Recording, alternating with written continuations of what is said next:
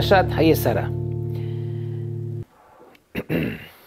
O início da Perashá fala sobre o falecimento de Sará e Abraão procurando o lugar para enterrar Sará.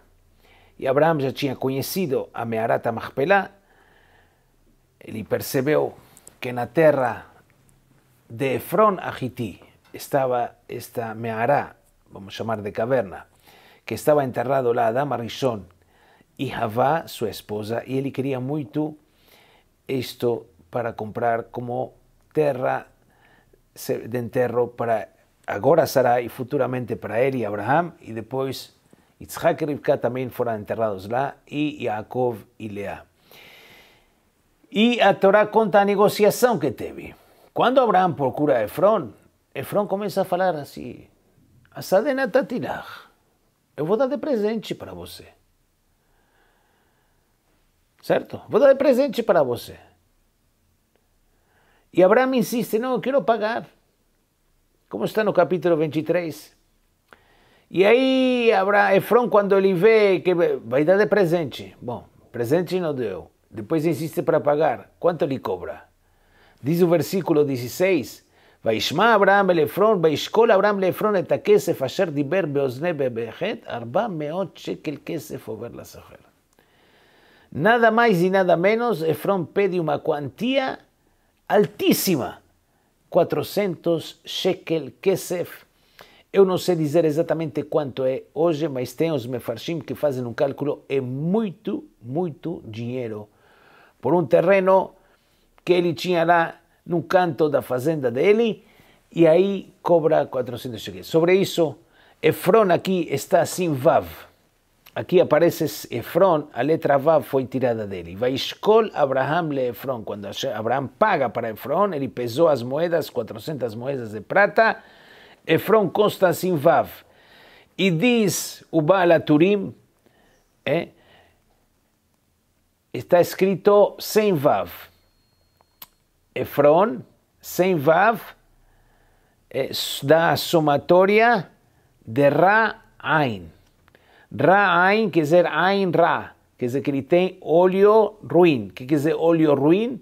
Significa que ele viu dinheiro na frente dele, em seguida quis pá, se apoderar. Quanto mais vai pegar, melhor.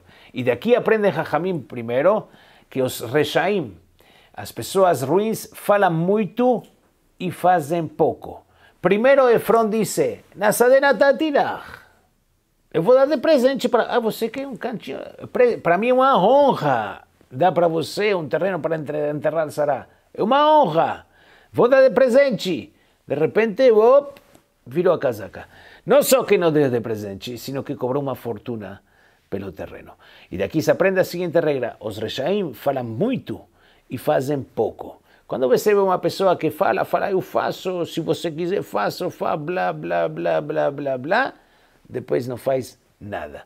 O tzadikim, a conduta deles é o contrário. Como encontramos em Perashat Vayera no início, quando, Perashat da semana passada, quando chegam os convidados de Abraham, que ele pensou que eram três viajantes, depois eh, disse, Ekhapat lehem, eu vou dar agora para vocês pão e um pouco de água. Falou pouco. Mas na hora de servi-los, dizem Hachamim e diz a Torá, depois pegou animais, fez shahita e serviu para ele língua com mostarda. Eram três, três línguas com três mostarda. Cada animal tem uma língua. Matou três animais, não tinha freezer para guardar carne, para justamente servi-lo. Os tzadikim falam pouco e fazem muito. Esta é a primeira lição que a gente aprende. A segunda lição que a conduta de Efron era Ra'ain, Ain Ra. Ain Ra significa que o sujeito ele é, não pode ver poses na mão do outro sem tentar pegar alguma coisa para si. Então, e a somatória diz da palavra Ra'ain é 400. E a somatória de Efron sem Vav também é 400. Justamente nos indica que ele cobrou 400 moedas de prata por este terreno. O Kliakar acrescenta sobre isto que Baal Turim e diz que na verdade que a falta da Vav significa o seguinte: a Gemara em Masechet Bababatra diz: todo aquele que dá uma prutá para um ani, ele tem seis berachot. E aquela pessoa que não tem esse óleo bom e dar tzedakah, então ele perde essas seis berachot. Por isso tiraram o Vav. E ainda, também o Vav está ligado com isto, que na verdade, Hachamim disseram que o Koshel Brachá, um copo de Brachá, quando se faz Berkat Amazon com vinho, se dá a uma pessoa que tem Tovaim, que ele quer que os outros tenham, que ele quer Tovaim, Hu Yeborach. Na verdade, está escrito Yeborach, e a Gemara faz Drasham, Masechet Sotalametchet, que Tovaim Hu Yebarech. Tira o Vav. Yeborach é com Vav, Yebarech é sem Vav, diz o Kliakar, justamente este é o sentido de Vav. E sobre a outra questão que vale 400, diz, nós encontramos, diz o Kliakar, em quatro lugares que pessoas que tinham Ra'ain e o número 400 vai junto. Aqui o primeiro Nefron, que ele pediu 400 moedas de ouro. Depois, quando eh, os irmãos de Yosef venderam Yosef como escravo por causa que eles não queriam, eh, eles, eles ficaram com do trato que o pai tinha com Yosef, venderam ele e nós ficamos em exílio 400 anos desde o nascimento de Isaac. Outra vez o número 400. Em relação a Esav, que ele era Ra'ain e queria se vingar porque Jacob pegou as brachot dele, 400 homens, diz o foram com ele, certo? Fora com ele. E nós temos mais uma, diz o Kliakar, certo? Navala Carmeli, Navala Carmeli na época de David Amelech, que não quis ajudá-lo quando David estava fugindo de Shaul com seu exército, certo? David veio atacá-lo com 400 homens. Então diz que este número 400 justamente está ligado com Ra-Ain, e por isso que a pessoa que tem Ra, a conduta de Efron é uma conduta que a pessoa não deve ter-la, quer dizer, não fale muito e faça pouco, seja daqueles que você fala pouco e fazem muito.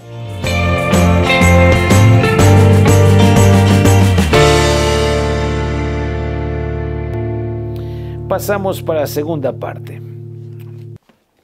Para entender a segunda parte, eu vou contar para vocês um exemplo da vida cotidiana. Vamos pegar um exemplo de uma mulher que trabalha, uma mulher judia, ela necessita trabalhar, trabalha como cozinheira numa yeshiva. E ela, imagina, jovens para comer, exigem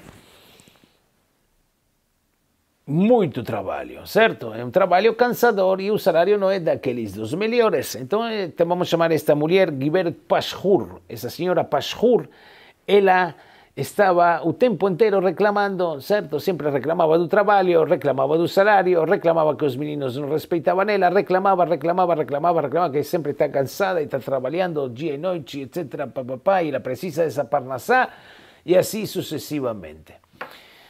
Esta é uma forma de agir. Temos outra forma de agir. E vamos pegar Giberet, a senhora Oshri. Assim vi escrito. Como exemplo, Oshri, esta senhora entrou a trabalhar na Yeshiva e cozinhava para os meninos e ela se achava com o mesmo salário, sem diferença de salário, mas ela achava uma mitzvah, uma honra.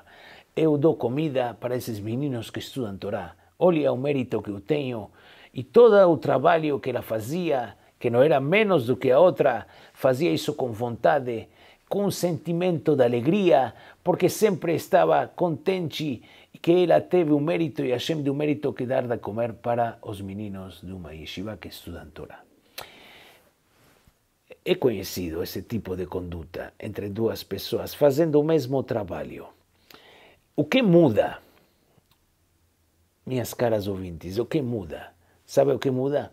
Muda a intenção, não a ação. A ação é a mesma, a intenção. O que a pessoa pensa, o que você pensa.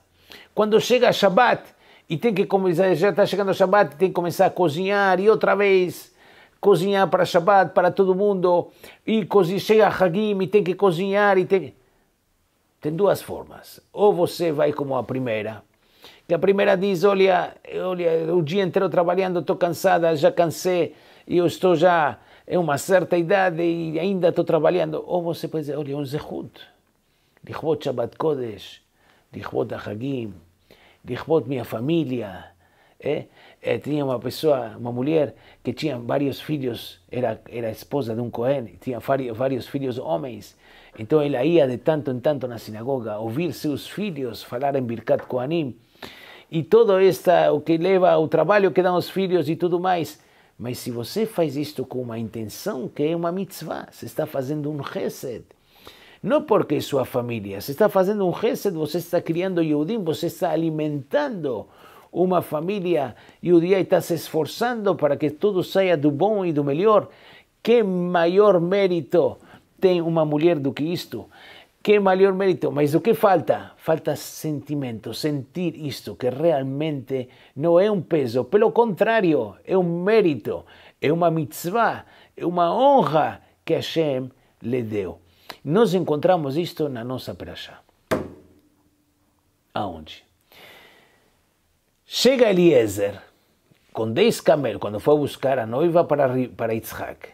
Chega Eliezer no poço e ele tem é, Asará Gamalim e tinha escravo. Eliezer era o escravo geral, era mordomo e tinha os outros escravos, todas pessoas sadias.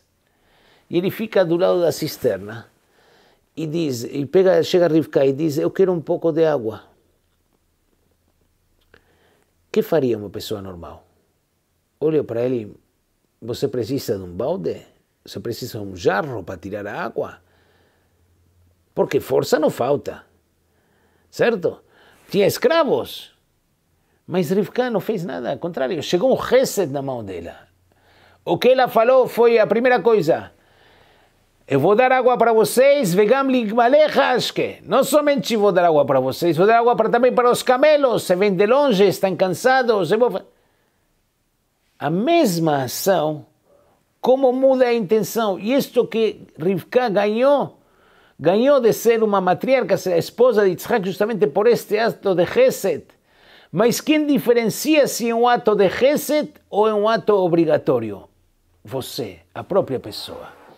A própria pessoa, quando faz uma ação, ela que define se está enquadrado em Geset ou está enquadrado em um peso. Uf, outra vez. Shabbat. Uf, outra vez esse menino. Outra vez tenho que correr atrás. Outra vez tenho que ir no sacolão. Outra vez. Faça isso com alegria. Faça isso como uma, como uma, como, como, como uma finalidade de vida. Sim, é isso. Hashem quer de você, deu esse mérito para você. Você, como mãe, como esposa, como avó de, de, de, de um elo dentro de Am Israel. Se está preparando alimento para Shabbat, então diga Lichvot Shabbat Kodesh, Lichvot a minha família, lichvot para ter um jantar que todo mundo esteja sadio, para poder cumprir Torah e mitzvot. Tudo isso é mitzvah. Cada minuto, minuto é mitzvah. Cada minuto que você faz é mitzvah. Ou você pode perder isso com uma intenção errada, com um pensamento errado, no lugar de ser mitzvah, vira um cotidiano obrigatório sem sentido nenhum. Uma dica de Rivka da nossa Perashá. Shabbat Shalom.